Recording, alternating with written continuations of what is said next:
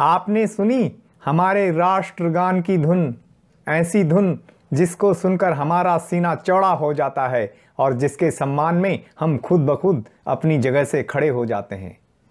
हम सभी यह जानते हैं कि राष्ट्रगान के रचयिता गुरुदेव रविंद्रनाथ टैगोर हैं, लेकिन शायद बहुत कम लोगों को यह पता होगा कि जिस संगीतकार ने राष्ट्रगान की धुन तैयार की थी, उनका संबंध उत्तराखंड और हिमाचल प्रदेश से था। कहीं पर आपको यह पढ़ने को मिल जाएगा कि राष्ट्रगान की धुन भी गुरुदेव रविंद्रनाथ टैगोर ने ही तैयार की थी, लेकिन यह सही नहीं है। राष्ट्रगान की धुन के रचयिता थे कैप्टन राम सिंह ठाकुर। घसेरी में आज हम आपको कैप्टन राम सिंह ठाकुर के बारे में ही बताएँगे कि किस तरह से वह संगीत से जुड़े और किन परिस्थितियों में उन्होंने राष्ट्रगान की धुन तैयार की थी? पहले यह जान लेते हैं कि कैप्टन राम सिंह ठाकुर का संबंध पहाड़ के किन क्षेत्रों से था। कैप्टन राम सिंह ठाकुर का जन्म 15 अगस्त 1914 को हिमाचल प्रदेश के खनियारा गाँव में हुआ था। खनियारा गाँव धर्मशाला से लगभग सात किलोमीटर दूर है। वह उस ठकुरी परिवार से संबंध रखते थे जिसने कि नेपाल पर राज किया था। कैप्टन राम सिंह ठाकुर मूल रूप से उत्तराखंड के पिथौरागढ़ ज़िले के मुनाकोट गाँव के रहने वाले थे। उनके दादाजी का नाम जमनी चंद था, जो 1890 में हिमाचल प्रदेश में जाकर बस गए थे। कैप्टन राम सिंह ठाकुर का बचपन से ही संगीत से लगाव था। उनके दादा जमनी चंद और नाना नथु चंद ने उन्हें संगीत के प्रति प्रेरित किया लेकिन उनके पिता हवलदार दलीप सिंह चाहते थे कि राम सिंह सेना में भर्ती हों। पिता की आज्ञा का पालन करते हुए राम सिंह किशोरावस्था में ही सेकंड गोरखा राइफल के बैंड में भर्ती हो गए थे।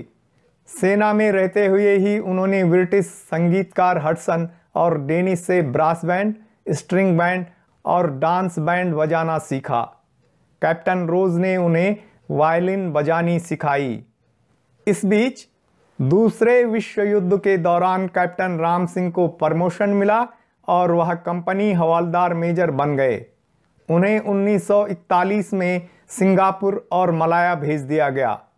दिसंबर 1941 में जापान ने मलाया थाईलैंड सीमा पर आक्रमण किया और लगभग 200 भारतीय सैनिकों को गिरफ़्तार कर दिया।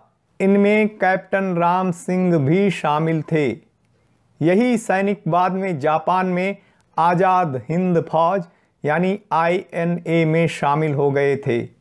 यहीं से शुरुआत हुई थी भारतीय राष्ट्रगान और उसकी धुन की नेताजी सुभाष चंद्र बोस को जब पता चला कि कैप्टन राम सिंह ठाकुर बहुत अच्छे संगीतकार हैं तो उन्होंने कैप्टन राम सिंह ठाकुर को कौमी तराना की धुन तैयार करने का जिम्मा सौंप दिया।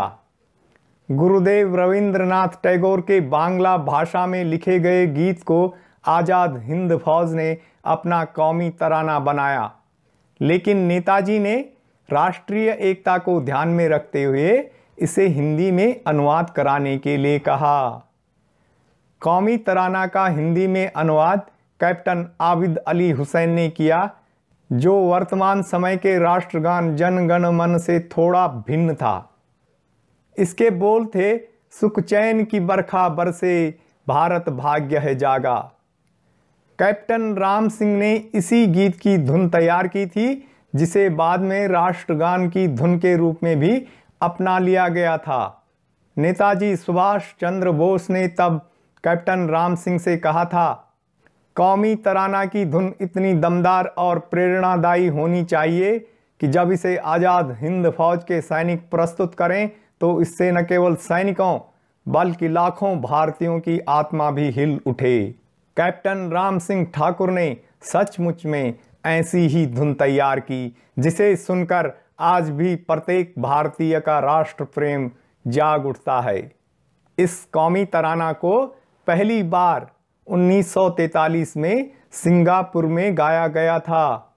बाद में राष्ट्रगान में बदलाव हुआ। लेकिन उसकी धुन नहीं बदली गई। राष्ट्रगान की धुन आज भी वही है, जिसे कैप्टन राम सिंह ठाकुर ने तैयार किया था।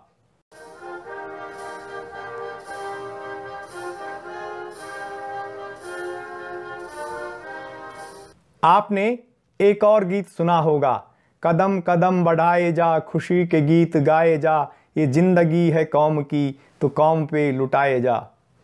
इस गीत को कैप्टन राम सिंह ठाकुर ने लिखा भी है और संगीतबद्ध भी किया है। आज़ाद हिंद फौज से जुड़े सभी गीतों को कैप्टन राम सिंह ठाकुर ने ही संगीत दिया था।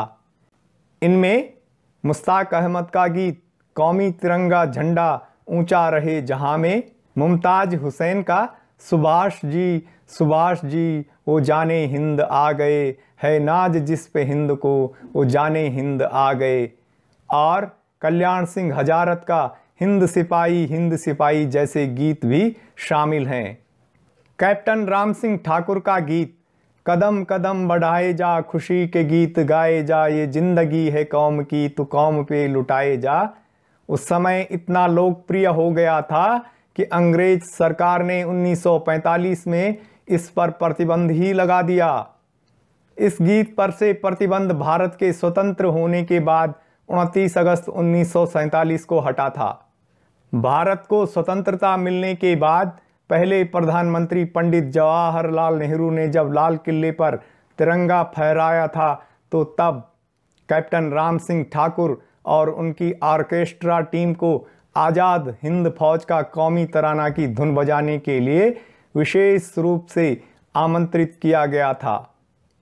इससे पहले कैप्टन राम सिंह ठाकुर और उनके साथियों ने महात्मा गांधी जी और सरदार पटेल जी के सामने भी कौमी तराना की धुन बजाई थी। कैप्टन राम सिंह ठाकुर ने लगभग 30 राष्ट्रीय गीतों को संगीत दिया था। उन्होंने कुछ पहाड़ी गानों का भी संगीत तैयार किया, जिनमें नैनीताला नैनीताला घूमी आयो रैला भी शामिल है। उन्होंने अपने जीवन का काफ़ी समय लखनऊ और नैनीताल में बिताया था। कैप्टन राम सिंह ठाकुर का 15 अप्रैल 2002 को निधन हुआ था। उन्हें आजीवन वह सम्मान नहीं मिला जिसके वह वास्तविक हकदार थे। घसेरी टीम की तरफ़ से इस राष्ट्र प्रेमी संगीतकार को शत शत नमन।